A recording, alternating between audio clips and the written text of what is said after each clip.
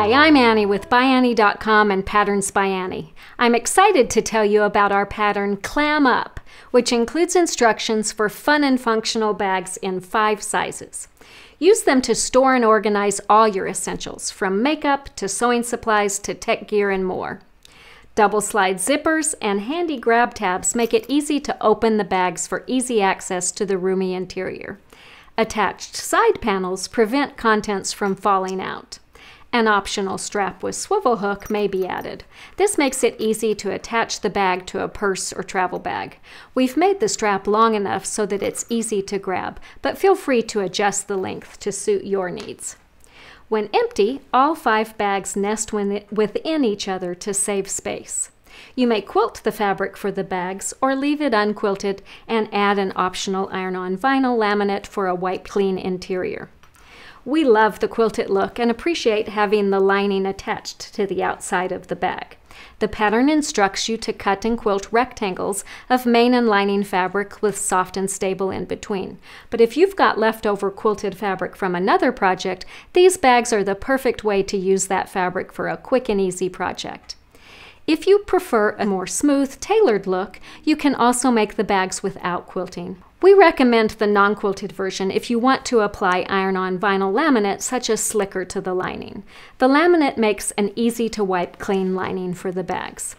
No matter which version you choose, quilted or non-quilted, we recommend that you use ByAnnie's Soft and Stable between the layers of fabric to give the bags great body and stability and a firm foundation for easy assembly.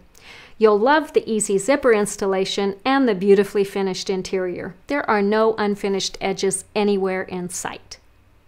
The Clam Up pattern gives complete step-by-step -step instructions and templates for making these bags, from cutting the fabrics and applying the iron-on vinyl interfacing to preparing the components, attaching the zippers, and assembling the bags. You'll love the check boxes to help you keep track of where you are in the process, as well as the handy tags for labeling all your pieces. There are dozens of helpful illustrations in the pattern to guide you, and we've filmed an add-on video to help you with some of the more unique aspects of this project. This helpful video tutorial will show you how to cut the various pieces for your bags, make full-sized templates, prepare the pieces for the non-quilted version, including attaching the iron-on vinyl laminate to the lining, prepare double-slide luggage-style zippers using an extra easy new technique, Attach zippers to the top of the bags, attach the side panels, and finish the zipper edges. The clear and complete pattern instructions combined with the add-on video make Clam Up a pattern that can be accomplished by all levels of sewists. Makers will need skills for careful marking and rotary cutting and sewing accurate seams. Some experience with my patterns and terminology is always helpful. Most of the project is very straightforward, and the video tutorial will walk you step by step through the more challenging or unique aspects. Let's talk a little bit about the supplies that you will need to make the clam up bags. The pattern recommends that you use three fabrics for each bag. A main fabric for the exterior, a lining fabric for the inside of each, and a coordinating fabric for the grab tabs, straps, side panels, and bindings. Using soft and stable for the bags gives great body and stability and enables you to use any type of fabric for the bags. I especially like to use quilting cottons because of the wide range of colors and designs that are available. But feel free to use other fabrics like cork or even home dec fabrics if you prefer. If you plan to carry makeup or toiletries in the bags, you may want to add an iron-on vinyl laminate to the lining before assembling the bags. This enables you to wipe the interior clean. The pattern includes complete instructions for applying slicker iron-on vinyl interfacing to the lining. This easy-to-use interfacing may be ironed onto most smooth fabrics to make them water resistant. It is durable, flexible, and can be stitched without leaving adhesive residue on the needle. Each bag closes with a zipper, and we prefer using a double slide luggage style handbag zipper on the bag. Handbag zippers are wider than a skirt or dress zipper, and you need the extra width of the tape to make everything fit together properly.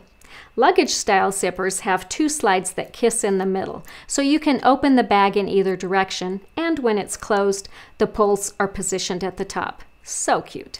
We recommend using our zippers by the yard to make all the zippers needed for the five bags. You'll love our new technique for attaching the slides to make double slide luggage style zippers.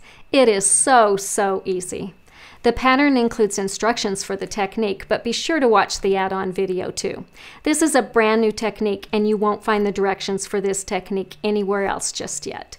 If you choose to put a swivel hook strap on the end, you'll also need a half inch swivel hook. If you just attach grab tabs, you won't need any hardware. The pattern includes templates for each size of bags, and we'd recommend that you make full-size templates for each.